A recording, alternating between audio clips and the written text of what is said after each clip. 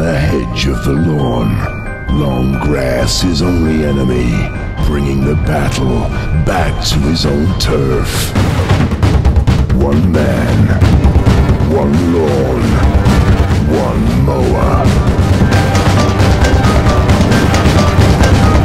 This summer, Dominic Byrne is cutting grass.